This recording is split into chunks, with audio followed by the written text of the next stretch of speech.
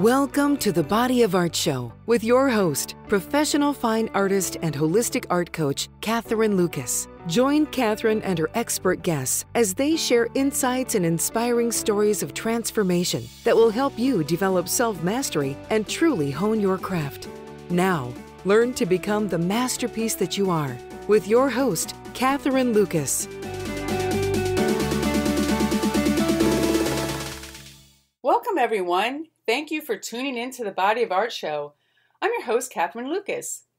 Today, I feel compelled to talk about what keeps us from pursuing our passion in life, especially artists, and why pursuing what we love is the most valuable thing that we can offer the world. I get it that life can get in the way of our creative endeavors at times, but it seems lately that I've been running into people who say they always wanted to pursue their art but didn't because they felt they needed to do something more purposeful with their life. They feel art is a luxury and doesn't add any value to the world. For them, art has been relegated to playtime. Apparently, they devalue the creative impulse within themselves, which is so common in our culture. In today's episode, I want to talk about why creating your art is the most valuable thing you can do for the world. But first, I want to let you know how much I really appreciate you all taking the time out of your busy day to be here. I know your time is precious, and I want to give you as much value as I possibly can during our time together so that you leave feeling inspired and empowered. I also appreciate all the kind and inspiring feedback that so many of you have given me about this show. It truly inspires me to be here with you each time and share any experiences, knowledge, or insights that may help you master your passion. I also invite you to join me on my Facebook page, Holistic Art Coach Catherine Lucas. On this page, you can ask me questions, share your thoughts, accomplishments you achieved, or even challenges that you are facing to gain insights on how to overcome them.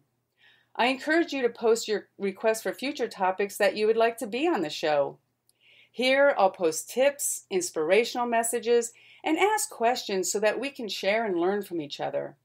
As always, you can connect with me at my website, bodyofart.net. I put a link to my Facebook page on my website so that's easy for you to find. Now, before we begin, I'd just like to remind you each time that the Body of Art show is intended for educational, inspirational, and motivational purposes. It's not a substitute for professional medical diagnosis, treatment, or advice. So absorb what resonates with you today and just release the rest. Now, as I've mentioned, I've been running into more people lately who've never pursued their love of art because they felt they should do something more meaningful and purposeful in life. Somehow, they were conditioned to believe that pursuing art was self indulgent, and many were told to get real or to get a real job. In fact, three individuals that I encountered recently had won full scholarships to art school, but decided not to go due to pressure from their families. One decided to ignore the scholarship altogether and choose a field of study that was considered safe and in demand, almost guaranteeing a job right out of school. Another went halfway through their art program before dropping out to go for a real or serious career in the healthcare field because it contributed something more to society than just making art. The third graduated from their art school but got a job with the government that offered steady pay and good benefits she didn't believe in her abilities to make a living as an artist and settled for something that was safe and secure. All three feel dissatisfied with their life no matter how successful they are with their careers. They describe feeling empty, bored, uninspired, and one even described feeling that her soul had eroded away. All three were conditioned to believe that art is only a luxury holding no real value. I'm sure many of you artists or artists at heart out there have heard the all too common, isn't it time you get serious and get a real job? Or you need to be doing something purposeful with your life. It's not all about you.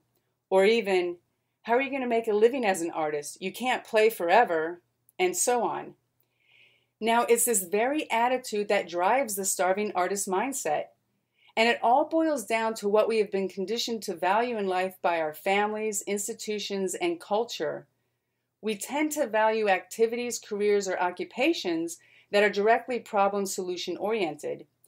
For example, the role of a doctor is to provide an immediate solution to a pain problem in their patient, or a scientist may do research to provide a solution for cleaner energy for the health of the planet.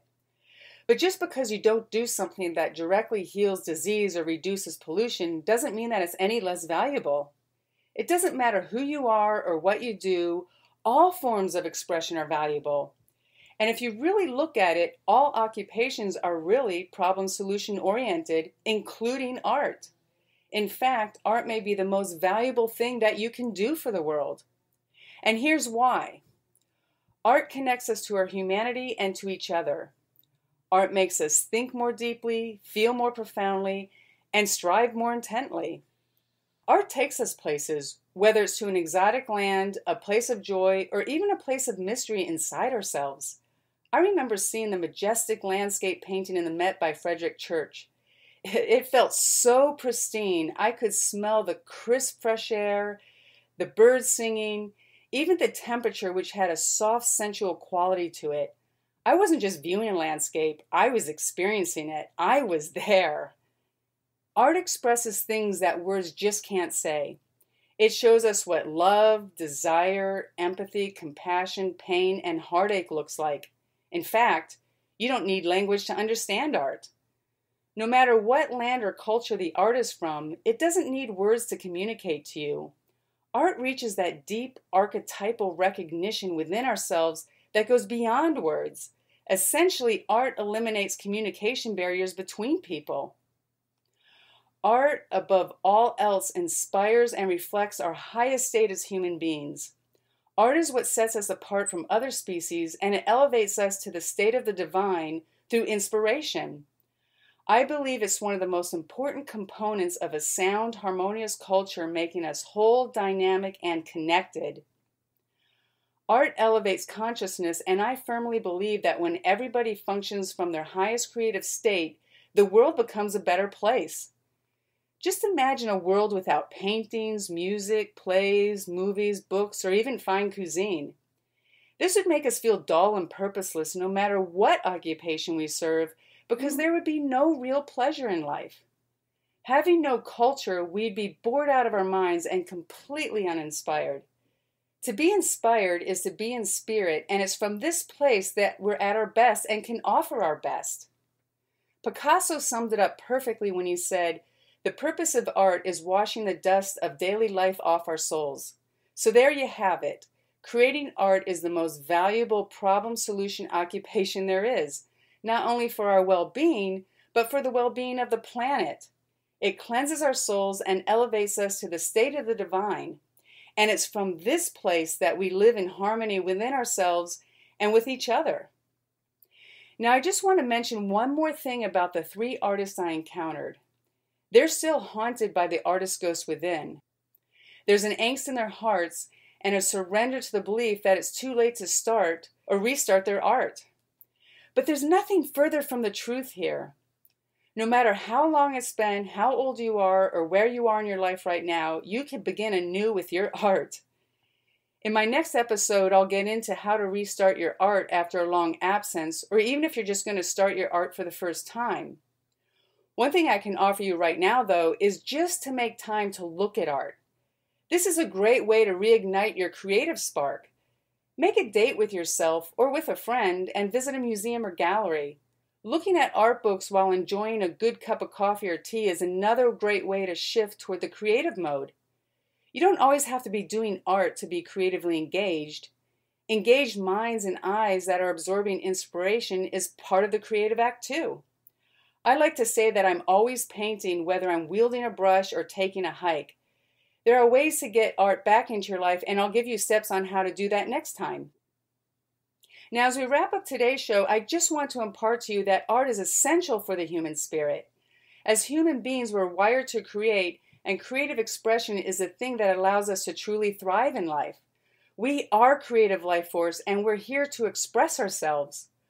All the spiritual and religious traditions communicate that God, source, or divinity lives within us. As such, the divine creative impulse surges through us, and when we're living the inspired life, our health and wealth follow suit. So, no matter what age you are or where you are in your life, you can reconnect to your art and not only make it part of your life again, but you can continually evolve it. Well, I want to thank you all again for listening to the show today. I really appreciate you taking the time to be here and would love to hear any comments you have about today's episode. You can do this by subscribing to the Body of Art Show on iTunes, Stitcher, SoundCloud, iHeartRadio, or TuneIn Radio and leave any comments there. I invite you to leave your review and ratings on iTunes as well. Don't forget to join me on my Facebook page, Holistic Art Coach Catherine Lucas, to let me know what you think about today's episode. And remember, you can always connect with me on my website, bodyofart.net. That's spelled B O D Y O F A R T dot N E T. Here you can find all of my previous episodes and opt in for my podcast sign up. That way, every show will be sent directly to your inbox so that you don't have to go looking for it each time. Meanwhile, please stay tuned for our next episode on how to restart your art, even if decades have gone by. Until next time, I want to leave you with this one masterpiece of insight by art educator Robert Henri. He said, The object isn't to make art, it's to be in that wonderful state which makes art inevitable. On that note, I empower you to take charge of your art and become the masterpiece that you are. You've been listening to the Body of Art Show, hosted by Catherine Lucas. The Body of Art Show has been brought to you by Body of Art Enterprises Incorporated, your source for individualized art mentorship and coaching. Our mission is to educate and support aspiring artists to step into their own personal power and master their passion. To learn more, go to bodyofart.net.